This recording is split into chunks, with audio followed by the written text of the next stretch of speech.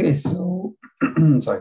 So we'll go over the uh, topic. We'll continue on the blood types, which is based on the book. And there are two main books on this topic uh, in case you want to uh, get more uh, into a particular blood type that you are. Um, so why we even talk about this? We talk about it from the health perspective. Uh, we are talking because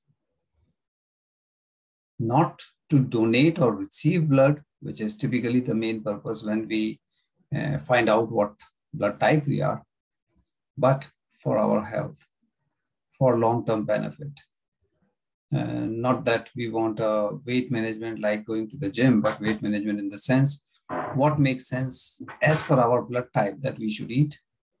Uh, even the physical activity, exercise, that perspective, how we can have our lifestyle that helps us in having a better memory, less stress, because stress is something which in today's world everybody's complaining about, right? Whether you are a child, whether you are school going, college, university, or professional. And again, having a longer life lifespan without health is no good. So you want a longer lifespan, but with health. Throughout the world, if we see, we see a very high percentage of people having blood type O. Uh, if we don't worry about the RH factor, whether plus or negative, it's roughly 45%. Uh, if you look at type A, which is the second most popular one, uh, then you will see it's roughly 33%, followed by B type, which is roughly 16, and type AB, which is under 6. Now we may wonder why such a big difference, and that is uh, one factor is the distinction you see between these types in their digestive capabilities or factors and immune system, the type they have and what they have. Sorry, I think the other way. Now, why the differences in two critical factor, digestion and immune system, and why the percentage vary accordingly is hidden in when they really came into existence. So O was the primary blood type when the life started in terms of humans. Uh, that was in continent of Africa, roughly 40,000 years ago. So the everybody was having O. So this was very simple at that time. The life was again simple in the terms save your life. That was the first challenge from wild animals, from all kind of situations lifespan was not long because of a lot of danger or health issues, diseases. And from Africa, as the humans started migrating to Asian region, blood type A came into existence roughly 15 to 25,000 years ago. From there, they migrated towards north, means they went to Himalayas and, uh, you know, northern region, colder region. So they were from warm, they were going to cold region, and that was about That's when type B came into existence. AB is relatively new, less than 1,000 years, so just five to 700 years roughly, because of, again, a lot of, uh, you can see in the 1,000 years, last 1,000 years, a lot of war, a lot of, you know, people or kingdoms trying to expand, those kind of situation. So it is much older. It is much deeper than sometimes we try to distinguish, we try to uh, define people based on their color of the skin, their religion, ethnic practices. But actually, our blood type is much, much older. So it has a lot more information than just, you know, some generations. So you can imagine how many generations have taken place in last 40,000 years, right? Basically, our entire history is there. Now, type O As we said at that time, it was primarily meat eater because they will do hunting to survive. Yes, they were having some vegetables or fruit, but primarily meat eaters. Type A came when a big change happened, and the change was agriculture. This was the time when uh, human learned how to, you know, grow crops and food was readily available rather than, you know, just hunt and eat. As they moved to the colder climate, a lot of changes took place, and that's why the type B has some differences. And type AB is a kind of combination between A and type B. So a single drop of blood you will see is not just red fluid with some enzymes or proteins or this or that trying to transfer from one part of the body to other. It is actually carrying our blueprint. It has lots of information that we haven't understood yet. Lots of information passing between generations. The immune system, all of the system, there is a lot of dependency on what blood type you are. So it is kind of, uh, you know, database that can answer a lot of things if we understand it properly. And that's the whole thing. Because you can see billions of people are there for one particular blood type. That does not mean all those um, billions of people, say O type or A type, will have everything identical. No. And we'll see that. However, there are similarities, there are trends that we can use that information and improve our health, well-being. So immune system, the term came from a Latin city immunis, which was exempted from paying taxes. And that's why they started using this term immune for the immune system, what we call today, because it is protecting us. So you want something, you know, uh, which is uh, as powerful as, at least in status. And antibodies are like private army. Any foreign particle, foreign issue comes, then these go and they get attached to that particular particle. And the idea is, sorry, from a smaller particle, when they get glued, they get attached, they makes it big, and it's easy for the body to dispose it of. Now, there are two key things. Uh, one was antibodies and what we just saw, and also antigens. Antigens like blood type is an antigen. So when we are talking about this, you can see in the category all four have some differences. Uh, either in antigen or antibodies. Antigens are outside on the surface. Antibodies are inside the blood cell. And this is important when you are receiving or donating blood because you can see type A has anti-B antibodies. That means you cannot donate type A blood to a type B person. It would be very harmful. Similarly, the other way around, you cannot take the blood from type B person and transfuse or give or donate to blood type A. But because there is no antibodies in AB, AB is a universal receiver. You can receive from either A or B, doesn't matter. Type O has no antigens, so it can donate to anyone. That's why it is called universal donor. So this information, yes, is useful, but our intention is health perspective. So if we understand, first of all, you have to know your blood type. And then you can see different type of food may react or affect different people differently based on their blood type. It's not that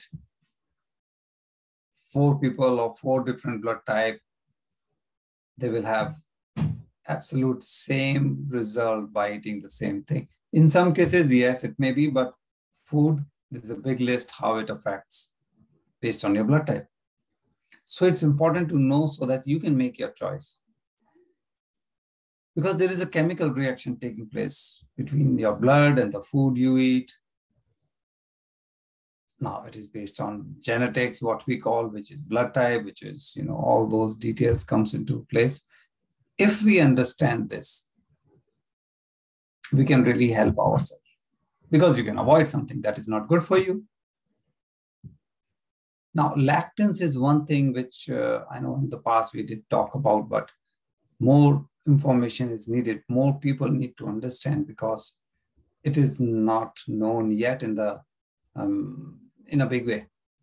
People understand, oh, I have gluten allergy. Gluten is one type of lectin, but they know that as allergic thing rather than as a lectin tomatoes, nightshade family like, you know, capsicums, eggplant, wheat, uh, even rice, they all have lectins. Lectins are there for plant protection, but it affects us negatively.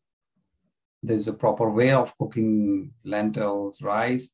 You neutralize the lectins. But if you don't, then it can impact you. So the functioning is similar like the bacteria virus you know they just come they attach and similarly lectins work because ultimately the role is to protect. Now when we look at the blood type plan there are five elements. The diet weight loss factor supplements means which supplements one should eat depending on your blood type what type of exercise? Item four, and personality question means it does impact your personality. Each category, there are three ways we can look at it. Highly beneficial means you should have more. Neutral means, okay, it was, you know, like food do you, you need, but there are items which you should avoid. They are against you in the sense they will hurt you. Based on these categories, you can decide this is my blood type. This is what I will eat more. This is what I will eat less, or I will not eat at all. And by making this simple choice, you can improve your health. So when we look at the diet, so what it is doing is it is really bringing you back with nature, with universe, you know, your normal rhythm, because that's where your energy meets, right? Now,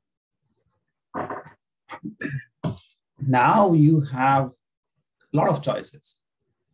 Uh, as we said about, you know, 10,000 years, more than 10,000 years ago when human learned how to, you know, grow crops, agriculture part. Now they have much more food options because they can grow food and they can store food. No more that you hunt and eat right away. 40,000 years ago, no question of any refrigerator or anything. You kill, you eat, you cannot eat, it's gone waste. You don't get anything, you don't eat. So a lot of changes took place, but does one diet fit all? And that's what we'll see. No, blood type will explain you because sometime you know every now and then flavor of the month some you will see for six months one year or two years there will be a big push. Oh keto diet. Oh this diet. Oh that diet. But people are different. Different blood type means can it really function the same way? No. So again there is a big list in the diet. 14 items. Now they have some additional item as non-vegetarian but we don't worry about them. We know that vegetarian food has more nutrient than we need, so why bother? But every category in the book, you will see three elements. What is good for you, eat more, what is okay, and what you should avoid. So based on your blood type, it's not that you won't get anything to eat. No, you just have certain elements, certain food items to avoid based on your blood type. So depending on your blood type, if you're interested, go in the book, go in the detail and find out what And you can make a small chart. It's not that complicated. It sounds, it looks, but once you make your chart, keep changing, keep, you know, have variety based on the season. And we always say eat locally because seasonally and regionally is really important. So when you eat local stuff grown in your region, it really helps. And season because sometimes you get food from cold storage. Yeah, I mean, you can feel it tastes different. It's there. It looks same, but actually it's not same. So similarly for weight loss, again, it's not a question of, okay, I'm not getting time to go to gym. What can I do? Not that, but weight loss in the sense optimization. What you should eat, what is the best for you. And if you can eat what is good for you, you can identify by eating this, I'm gaining weight, by eating this, I'm losing weight. So based on your situation and condition, you can pick what to eat or what to eat more and what to eat less. You know, in today's world, there's a big list of supplements. Anyone you talk to or you go to doctor and everyone will be suggesting, oh, start taking this, you know, B series or vitamin D, vitamin A, and you know, all kind of magnesium, phosphorus, potassium, you know, all names in the market. But why? And does all blood type works the same? Answer maybe no.